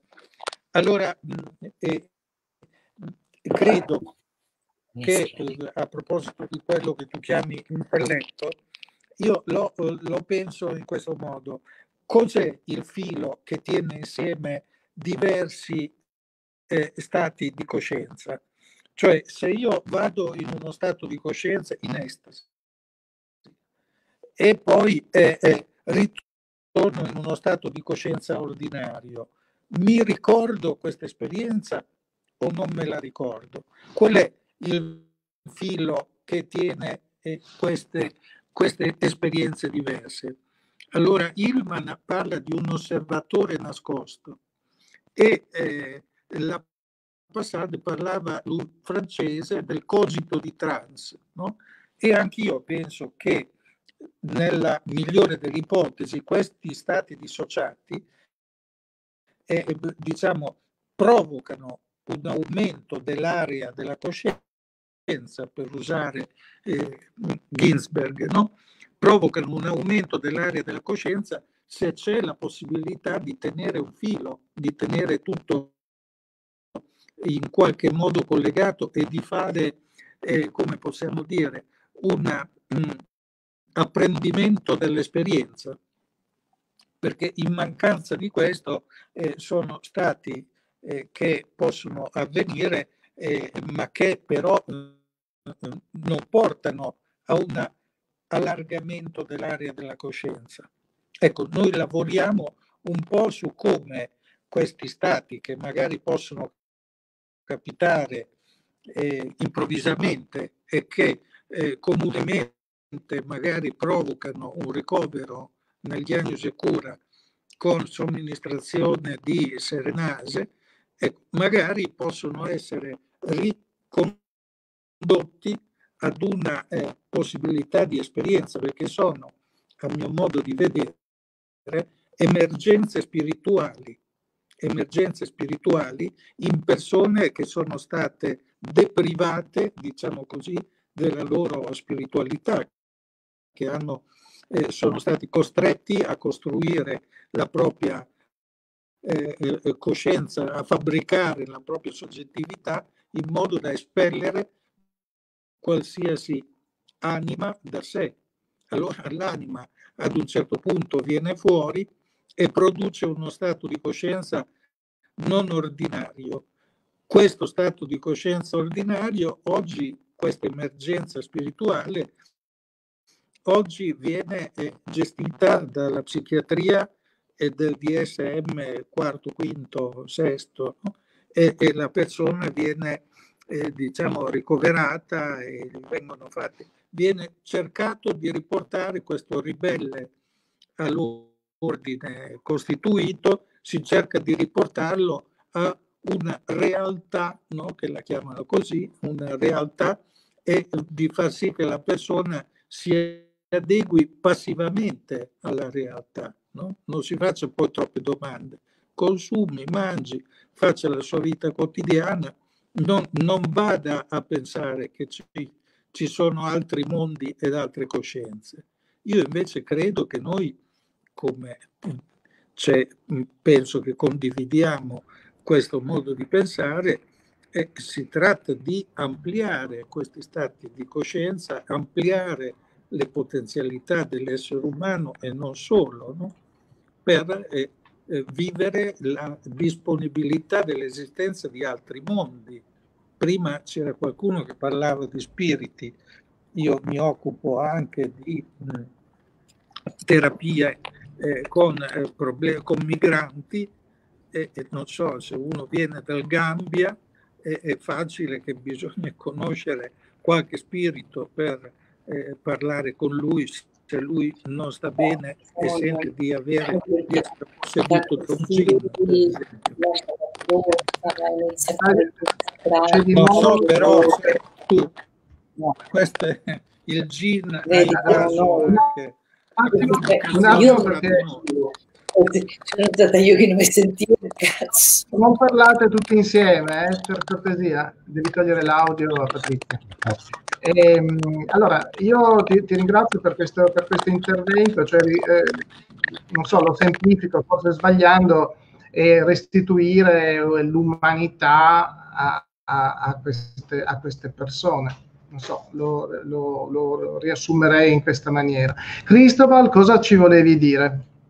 Che prima avevi chiesto, Mira, avevi chiesto eh, di parlare, non so se... Sì, sì eh, dico, c'è, un, c'è un, un, punto che penso che è molto importante, che, che, che Claudio ha sviluppato un, una struttura che si chiama l'enneagrama, che è l'altro canto dello Dionisiaco, che è lo Apolinio Es decir, que ir con un supramicroscopio a ver el ego y cómo está estructurado, cómo está constituido, pero andar a hacer el laboro de fondo cotidiano de auto-observazione, de autotransformazione, eh, e, che, e che lui eh, con, con, con, le sue anni aveva sviluppato un occhio chirurgico per guardarti l'ego e per poterti dire come una H di acupuntura dove sta la desviazione. E, e, e in questo enneagramma si, si, si delle peccati no, non come una situazione intrinsecamente cattiva come lo, lo pinta il giudo-cristianismo, sino come una desviazione, non una imperfezione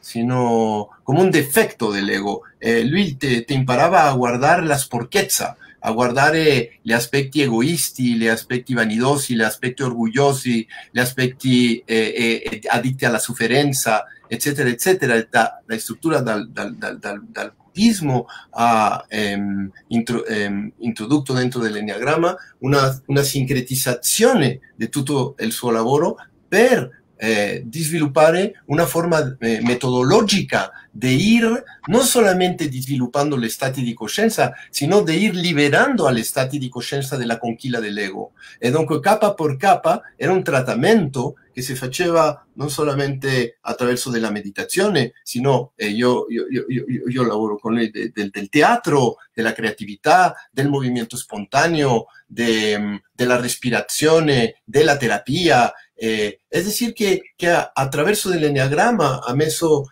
intorno eh, tante eh, pratiche che potevano aiutare a fare questa integrazione delle differenti eh, eh, cervelli, no? con il corpo anche, perché dico, io penso che c'è un amore un altro che l'amore biologico, l'amore delle cellule.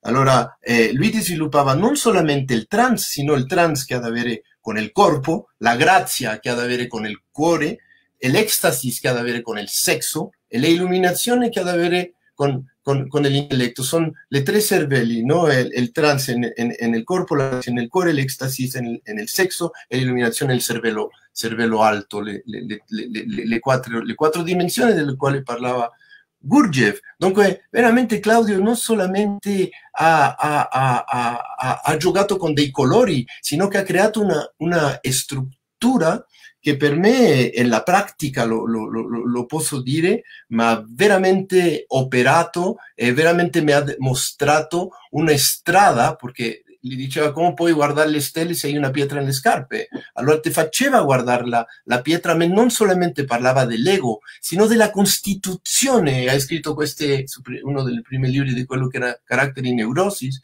e dopo tutti i libri che ha scritto sobre ogni eh, eniatipi, che è fondamentale de conoscersi perché delle volte uno parte alla, all'avventura dell'ego ma non è specifico. Dunque questo aspetto apollineo di guardare in profondità per piano piano ir abriendo la caja fuerte era come dire conosce la prigione per poterti liberare di lei, non solo voler liberarti della prigione, sino amare la prigione, guardare la prigione, entrare, diventare un hacker della tua propria prigione e lì arriviamo al, al, al, al, allo che dell'intellettualizzazione, a delle volte eh, intellettualizzare e pensare sobre le cose po- po- possono essere sterili, dunque hai che avere queste eh, sguardatore, este occhio testimonio, este io coscienza emanente, este io realizzato, eh, divino, eccetera, eccetera, eccetera, di stati di coscienza ampio, dei quali stiamo parlando, delle differenti stati che vanno dall'estato di coscienza lo più conservativo, infantile, all'estato approfittatore patriarcale, all'estato cosmico, all'estato planetario cosmico e divino, no? E, e da lì, da lì, con un microscopio quantico, guardare da un stato da intelligenza emanente non razionale, guardarsi con l'auto-osservazione e ir da piuttosto un emisferio eh, eh, eh, destro che, che, in sinistro, in, in, generale uno pensa prima con il sinistro e dopo con il destro, e Claudio ti imparava a guardare il tutto come in la Gestalt, a, guardar, a, a guardare da un non analysis, sino de una observazione del tutto che immediatamente ti dà una specie di rivelazione che ti aiuta come un insight, come, come un'illuminazione di vederti, no? Dunque, la specificità de, del lavoro penso che è molto importante sottolinearla perché lui era un chimico, lui, lui, lui era uno, uno, che, uno, che, uno che guardava, le guardava al dettaglio, no? e questo penso che è sommamente importante queste, questa capacità di guardarsi sapere che sta guardando per poter correggere e liberare di una forma adeguata di ogni di persona differentemente perché non tutti abbiamo le stesse strutture. Bene, grazie. Allora, volevo soltanto avvisarvi che abbiamo ancora una quindicina di minuti prima che proprio cada, cada il collegamento, perché abbiamo due ore di collegamento. E quindi vorrei, però adesso l'ho visto, è sparito, volevo dare eh, che si era prenotato. Eh, ah, Zerbetto dice che non si sente, eh, ma lì il problema credo che sia suo. Eh, Zerbetto aveva, Riccardo Zerbetto aveva chiesto la parola, e, però adesso non lo vedo più e dice che non riesce a sentire Cristobal. Io Cristobal lo sentivo benissimo. E, bene, allora eh, abbiamo dieci minuti, diciamo, proprio per concludere e, e poi mh, ancora qualche minuto per me per, per concludere, chiudere, ringraziarvi di, questa, di questo collegamento. Quindi a interventi liberi, chi vuole prendere la parola se rientra Zerbetto eh, gli, diamo, gli, diamo, la precedenza visto che si era prenotato.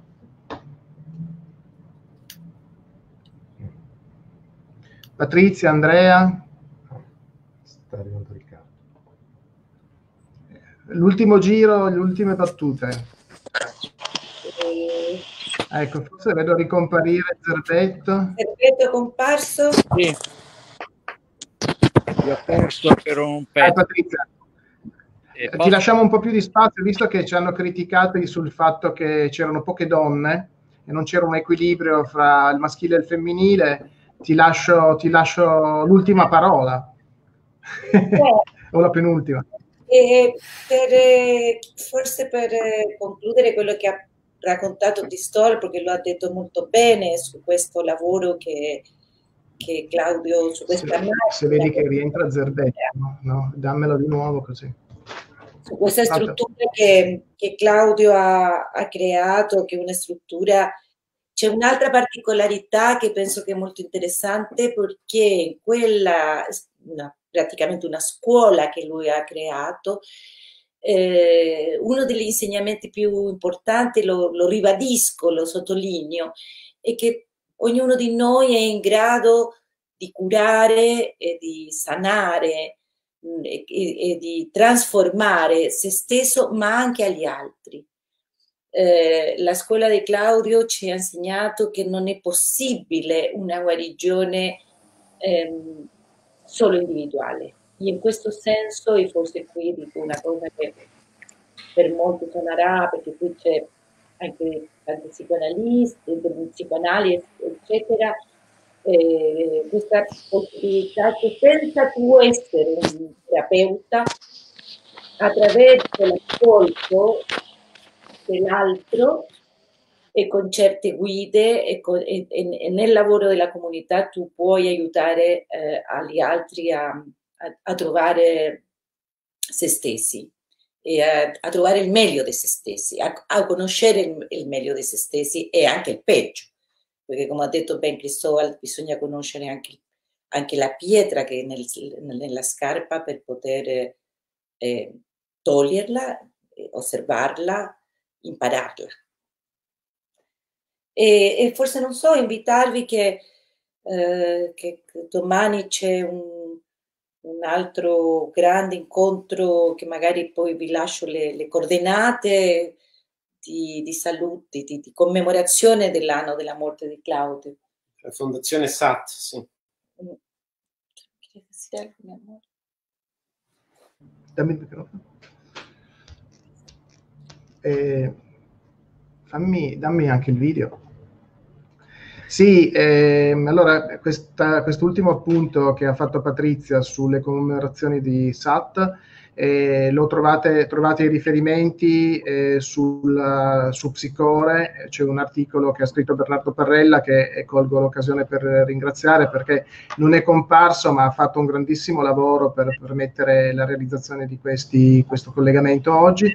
E eh, appunto troverete un articolo dove vengono, dove vengono, riassunte un po' tutte le attività che in questi, in questi giorni eh, sono le iniziative che, che, sono partite da diverse, da diverse fonti eh, in ricordo di Claudio Naranco. Abbiamo, abbiamo, fatto un po' noi già un riassunto per cui basta collegarsi, ci sono dei link eh, con i riferimenti precisi, con gli orari della meditazione domani mattina e, e le, varie, le, varie, attività che, che sono proposte dalla, dalla Fondazione SAP. Eh, non vedo, a questo punto ancora, abbiamo ancora qualche minuto, se qualcuno vuole intervenire proprio per una battuta rapidissima di un minuto, altrimenti andrei alle conclusioni, ai ringraziamenti e chiuderei, andrei alla, alla, alla chiusura del, del collegamento. C'è Leonardo. Berna- eh, Leonardo? Sì, molto veloce, condivido totalmente l'idea che eh, la cura, se così vogliamo chiamare, non è assolutamente un fatto individuale, è, è, è un processo collettivo, no? comunitario, assolutamente, totalmente d'accordo con questo. Eh, lo condivido in pieno e, e chi eh, pensa di ridurre la, la, il processo di cura, il processo di cambiamento, eccetera, a un fatto totalmente individuale, a mio modo di vedere, eh, sbaglia, nel senso che porta, eh, eh, complica il problema anziché andarlo a risolvere. E questa eh, dimensione del gruppo, della comunità, io eh, ritengo sia indispensabile. Bisogna curare la comunità, e curare più globalmente anche tutto questo sistema marcio che ci sta portando alla distruzione, no? per cui eh, distruggiamo le, le piante, la, il respiro dell'universo, stiamo distruggendo. Quindi io credo che dobbiamo renderci conto che eh, il cambiamento deve avvenire anche eh, su questo livello generale. Ah, ok, ho, ho, l'audio.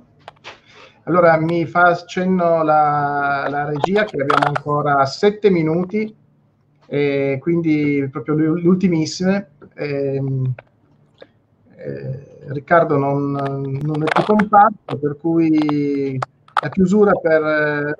Ma io ne, approfitt- ne approfitterei giusto per, giusto per una parola su Claudio Naranco, io sono forse una delle persone che meno lo ha frequentato perché non ho mai fatto i suoi corsi, ma sono almeno 30-35 anni che gira intorno alla mia vita. Eh, l'ho incontrato un paio di volte, una volta mi ricordo ad Assisi che gli scambiamo i, i contatti e poi gli chiesi una mail e lui mi disse I am computer unliterate e un'altra volta che l'ho incontrato, forse quella stessa volta in cui Cristobal era, perché era in Brasile, a Oro Preto, e stava facendo un ritiro di ayahuasca con degli americani, quindi eh, però giusto per dire che sono delle persone che ho citato spesso nei libri sono quelle persone che pur non incontrando o non sentendo l'esigenza o non potendo diventare allievo, lo se- senti come fraterno anche se eh, sulla tua stessa, on the same page come direbbero gli, gli americani, sulla tua stessa onda e nella quale ti muovi, e, e, è bello sapere che esistono queste persone.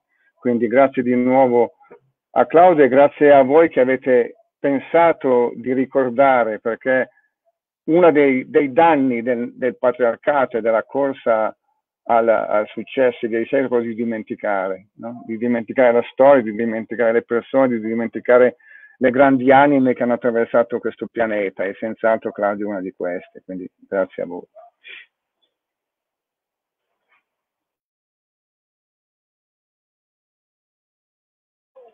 Ho finito. Dove siete?